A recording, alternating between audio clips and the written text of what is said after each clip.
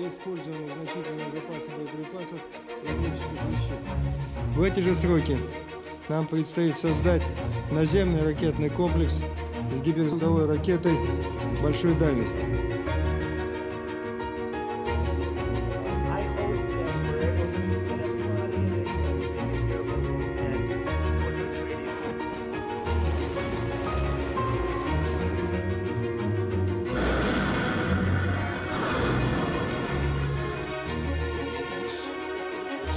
Thank you.